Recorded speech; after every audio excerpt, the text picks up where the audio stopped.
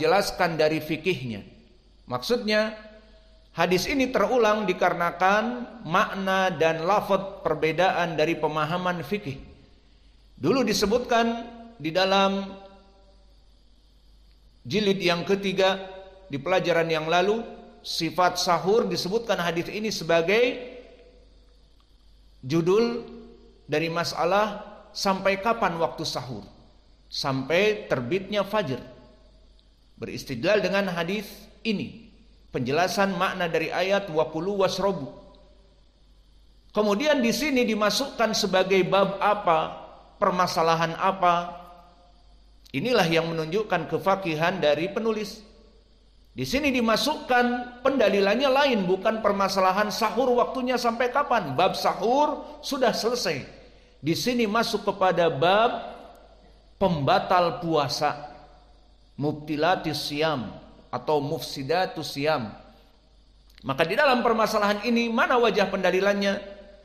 Wajah pendalilannya tadi kita masuk kepada pasal yang pertama tidak dihitung. Seseorang yang masuk kepada pembatal puasa, dia melaksanakan pembatal puasa dengan makan misalnya dan minum ataupun bersenggama dengan istrinya di siang hari namun harus terpenuhi tiga syarat. Pertama, dia dalam keadaan bukan al-khotok. Dalam keadaan mengetahui hukumnya. Dan ini yang dijadikan oleh penulis pendalilannya. Mana dalil wajahnya dari hadis yang telah kita lewati? Bukan masalah sahurnya tetapi apa? Disebutkan ayat Al-Quran ini. Wa kulu wasrabu hatta yatabayyana lakum al-khaytul abyadu minal khaytil aswadi. Dulu ayat itu dibaca sampai sini. Diturunkan oleh Allah berurutan sampai minal khaytil aswadi. Sehingga para sahabat mendengar ayat ini di saat sahur seperti Adi Ibni Hatim mengatakan amatu ila iqali aswada wa iqali abyadha maka aku di saat sahur mengikat ikol. Makna ikol adalah tali untuk mengikat unta. Maka aku mengikat tali hitam dan tali putih. Dan kemudian faja'altuhu tahta wisadati. Aku simpan di bawah bantalku. Maka aku makan dan melihat ah belum terlihat karena memang tidak ada listrik dan gelap. Nah, terus belum terlihat makan, makan akhirnya datanglah fajar seperti antum lihat sekarang. Remang-remang seperti itu, maka mulai kelihatan. Dan itu menunjukkan seperti sekarang kita sudah sholat. Dan kita sudah masuk pelajaran sekitar seperempat jam ataupun 20 menit. Atau lebih. Maka kesimpulannya Adi Ibnu Hatim telah masuk waktu yang diharamkan untuk sahur. Maka di sini akhirnya iskal, wah sudah fajar ini. Wah sudah kelihatan di ufuk timur cahaya terang sehingga masuk ke rumahnya atau ke kamarnya terlihatlah ikol yang putih dari yang hitam.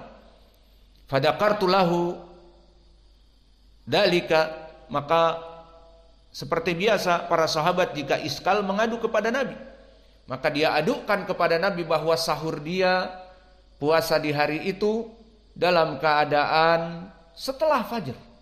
Menunggu benang putih dan benang hitamnya itu jelas. Ikol putih dan ikol hitamnya itu jelas.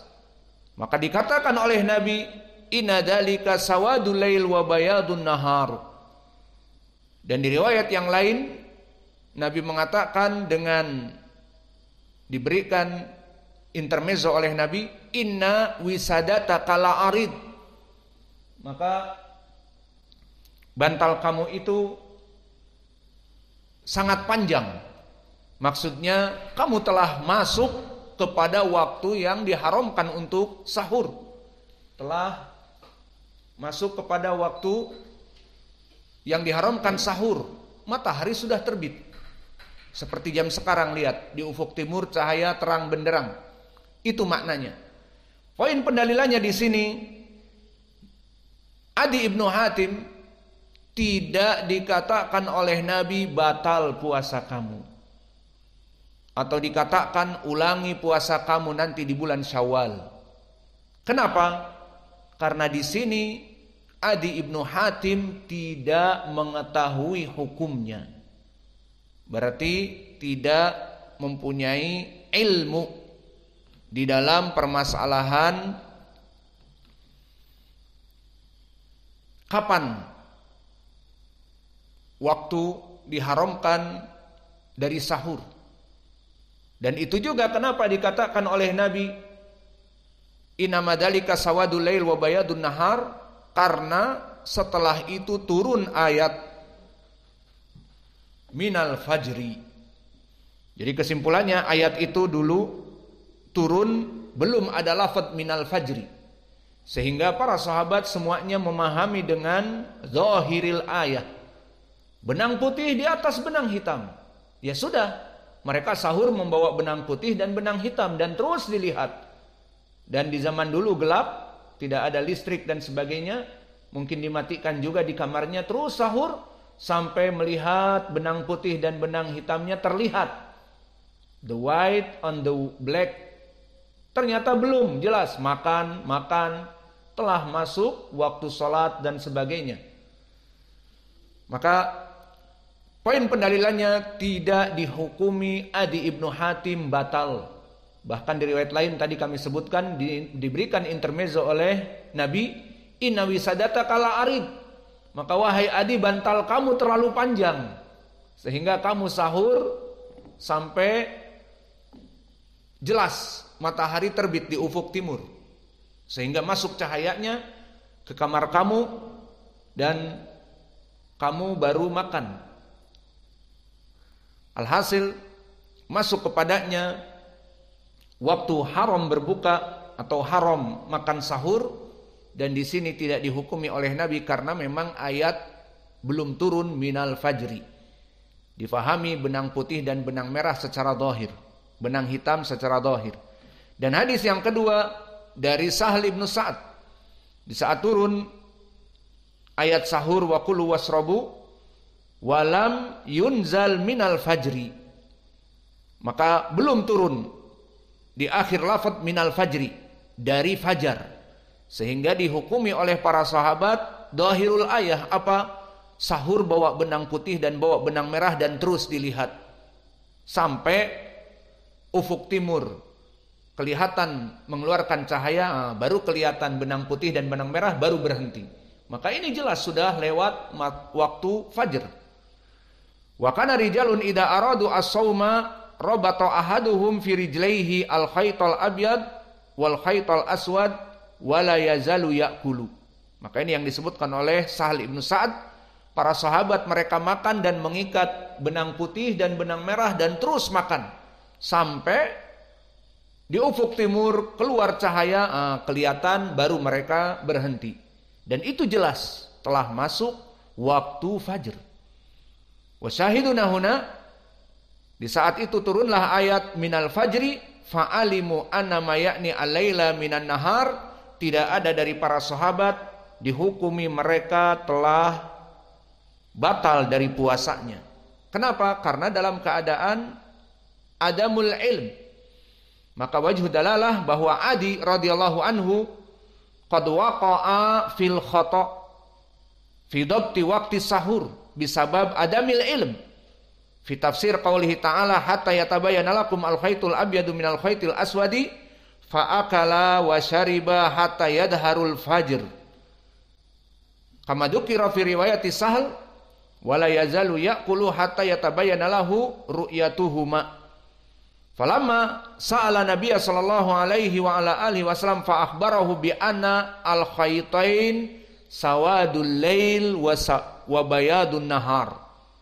Fanazalatil ayah ba'daha minal fajr falam ya'muruhu ay adi wa kadalika lam ya'muruhum ay kullu sahabah kullu sahabah bil iftar wa bil qada. Ini wajah pendalilan dari dua hadis yang telah kita lewati, maka pendalilannya jelas. Maka di sini menjadi faidah dari segi lugah. Pertama, fi qawlihi hatta yatabayyana lakum hatta huna harfun ya'ti lil ma'ani. Pertama hatta bimakna al-ghayah ay intiha. Wa hadha alladhi arada bi hadhil ayah. Dan ini yang diinginkan di dalam ayat ini. Hatta yatabayyana lakum maknanya bimakna intiha wal ghayah. Batas akhir. Sampai kapan kita sahur? Hatta yatabayyana lakum al khaytul abyadu minal khaytil aswadi minal fajri. Ini makna lafaz hatta di sini yufidul ghayah. Maknanya batasan waktunya sampai kapan sahur? Sampai terbit di ufuk timur fajar yang kedua.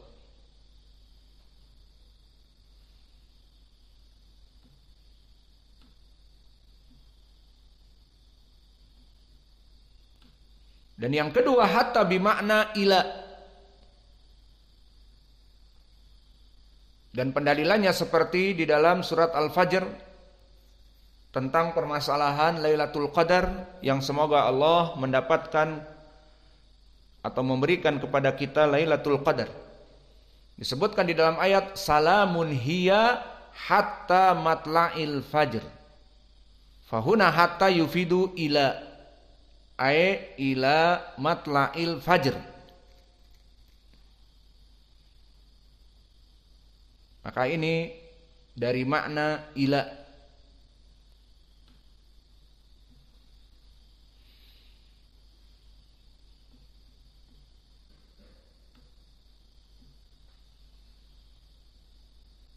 Maka dari dua makna ini makna yang diinginkan di dalam ayat hatta yatabayyana lakum yufidu al-ghayah sampai jelas kepada kalian.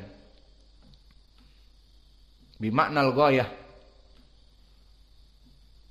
Dan faidah yang kedua dari ayat ini bahwa Al-Qur'an diturunkan bilugatil Arab. Walakin la bimaknaha kulliha Faidah dari segi ilmu logatil Arabiyah, Al-Quran diturunkan dengan bahasa Arab. Namun tidak maknanya dari Arab. Maksudnya butuh kepada penjelas dan bayan dari maknanya dari nas asyariyah baik dari Al-Quran itu sendiri ataupun dari al-hadis. Maka contohnya di sini adalah al-khaytul abyadu minal khaytil aswadi. Di saat Allah belum menurunkan minal fajri, maka indal Arab belum ada istilah ufuk timur yang gelap dinamakan dengan benang hitam. Itu belum ada maknanya dan horizontal dari ufuk timur